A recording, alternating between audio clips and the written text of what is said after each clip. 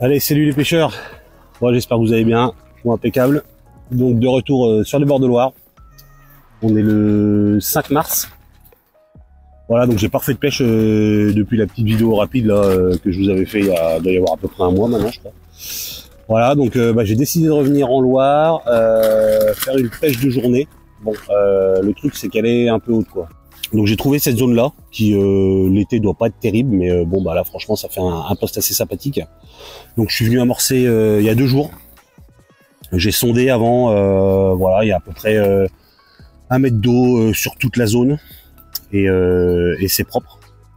Voilà donc j'ai amorcé 600 grammes de bouillettes et puis j'ai dû mettre 500-600 grammes de graines hein, éparpillées sur la zone. Et donc je suis revenu amorcer euh, un petit peu euh, hier matin. J'ai remis euh, juste 600 grammes de bouillettes. Et puis donc voilà, j'ai décidé de venir pêcher aujourd'hui. Donc le problème c'est que bah, les niveaux ont commencé direct à monter. quand je suis venu amorcer la première fois il y a deux jours, il devait y avoir à peu près moins de 400 mètres cubes seconde. Ah là j'ai vu que bah, j'ai vu que ça allait assez rapidement à la hausse. Donc euh, quand je suis venu amorcer hier, euh, il devait y avoir dans les 450 mètres cubes secondes à peu près. Bon déjà, je pouvais encore marcher. Euh, j'aurais encore pu m'installer sur le bord, mais bah là, comme c'est là, bah là, c'est pas possible quoi. Là, je suis arrivé ce matin, voilà, donc 550 mètres cubes secondes, elle est vraiment montée pas mal.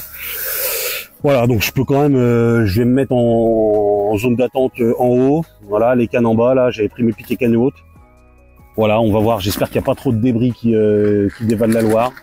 Euh, bah voilà, la zone où j'avais prévu de pêcher, où j'ai amorcé, est toujours relativement calme, donc je pense que ça devrait tenir euh, assez largement. Voilà, le problème, ça va être éventuellement les débris. Donc euh, bon, on verra. Euh, j'ai pas encore amorcé là, je suis arrivé, euh, bah, premier boulot, j'ai regardé si je pouvais planter les piquets en bas. Voilà, pareil si je pouvais, parce qu'il y a pas mal de, de pavasses là, c'est une espèce de digue, si je pouvais planter le piquet pour le parapluie, donc c'est bon aussi.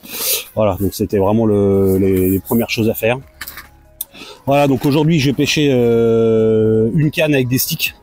J'ai retrouvé des, vieilles bouillettes que j'avais de l'année dernière. Euh, c'était euh, je crois. Moi, j'ai retrouvé ça. J'ai dit faut que je les passe. Donc euh, voilà, j'ai profité pour pour faire des sticks avec avec du frolic. donc ça sera la, canne de droite, je vais pêcher comme ça. Et canne de gauche, que je vais faire, c'est que je vais pêcher avec mes feeders géants. Je vous en ai déjà parlé. J'avais fait une vidéo là-dessus il y a 2-3 ans.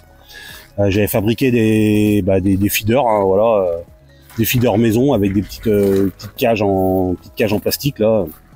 Histoire d'avoir vraiment des gros des feeders de gros diamètre quoi parce que dans le commerce ils ils vendent pas de très très gros. Donc euh, voilà j'avais fait ça. J'avais déjà fait du poisson avec ça.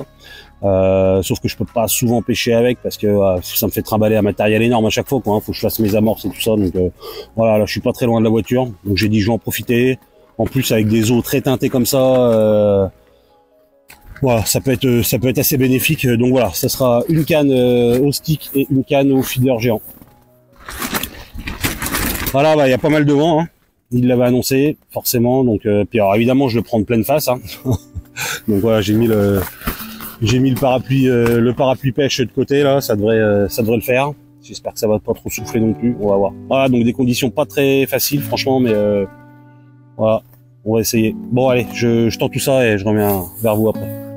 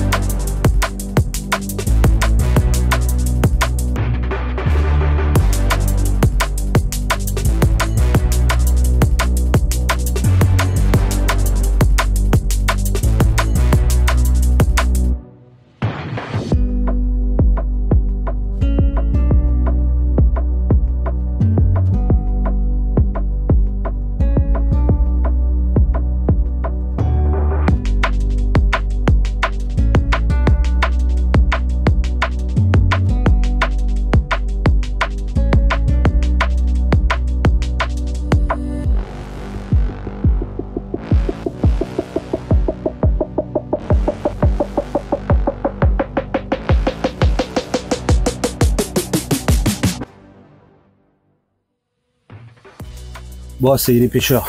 Ça s'est tendu. Il est pas loin d'11 heures.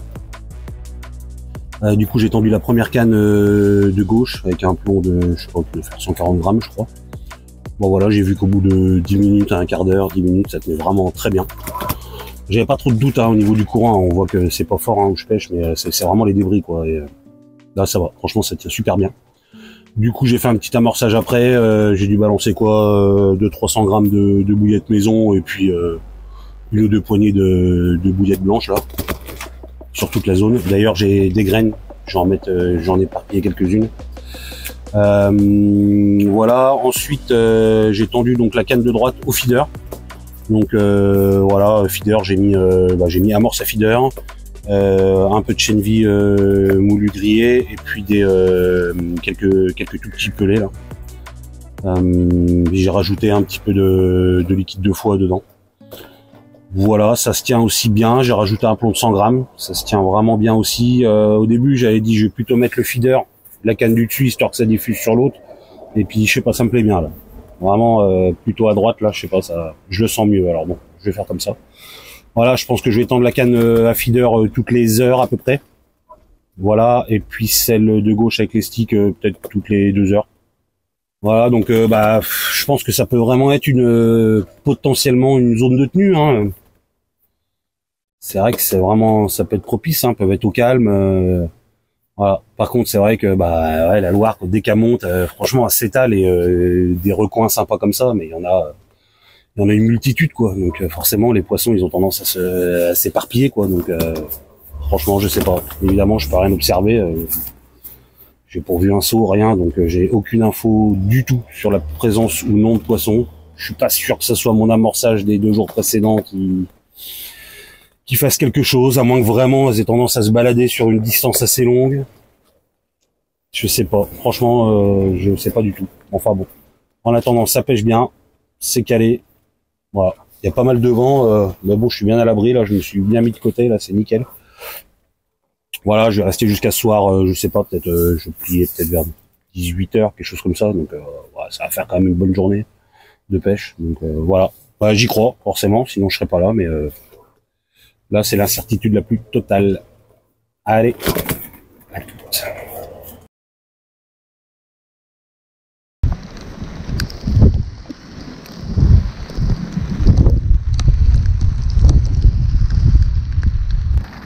Là, bah il y a un temps bien pourri. Hein.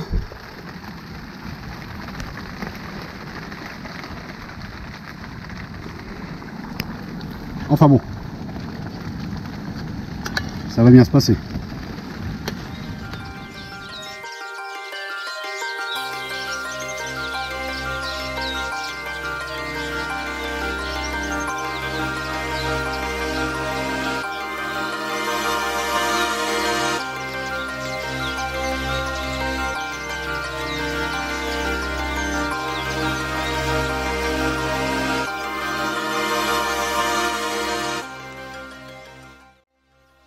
Bon les pêcheurs, bon bah voilà, fin de la pêche. Euh, bon j'ai rien vu du tout.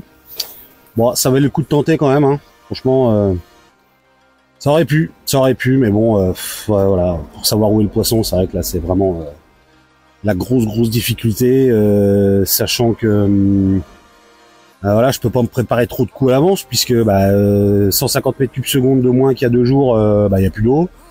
150 mètres de plus qu'aujourd'hui, euh, bah je peux je peux plus pêcher quoi, parce que ça sera à rabord. Euh. Et après le problème c'est qu'il y a des arbres, donc euh, enfin c'est pour le tout de pouvoir se tendre, c'est le tout de sortir le poisson aussi quoi. Donc voilà, un coup comme ça avec des niveaux en plus, là ça commence à devenir compliqué. Donc voilà, je peux pas faire un amorçage sur sur plusieurs jours, voire plusieurs semaines, un petit peu de temps en temps, essayer de, de, créer un poste quoi. Ça c'est quelque chose qui est vraiment pas possible à cette saison là. Voilà donc après il y a la, bah, toute la zone des obstacles, mais le problème c'est que en général, les berges où il y a les obstacles, c'est là que le courant tape fort. Hein. C'est d'ailleurs pour ça que les arbres tombent euh, pendant la saison hivernale quand les niveaux sont hauts. Quoi. le débit passe en général tout bout. Quoi. Donc euh, voilà, exploiter des postes comme ça, c'est pas évident non plus. Voilà, donc c'est toute la difficulté. Voilà, bon, j'arrive à un temps assez mitigé. Hein. Franchement, j'ai eu euh, du soleil, du vent, de la pluie. Mais bon, ça va, être à l'abri. il y un moment, j'ai quand même cru que l'abri, ça allait exploser les baleines du bazar là, mais ça va, ça a tenu le. Enfin bon. Voilà, bon, je vous diffuse même cette petite vidéo. Hein, ça m'aura permis de, vous montrer un petit peu le poste, vous donner des nouvelles et puis euh, de montrer les, les gros feeders XXL là, hein, que j'avais confectionné, euh, pour ceux qui n'avaient pas vu la vidéo d'il y a, il y a deux ans là. Voilà, alors je pense que la prochaine fois je retournerai en Loire, bah où je sais pas, hein, évidemment, ça va être en fonction des, des niveaux. Peut-être que j'irai faire un pseudo repérage, euh, voilà, essayer de voir une zone potentiellement euh, pêchable. Voilà. Bon, en attendant, euh, je vous dis à bientôt les pêcheurs. Merci pour tous vos commentaires. Coucou à tous les abonnés et puis et puis je vous dis à bientôt. Allez, ciao.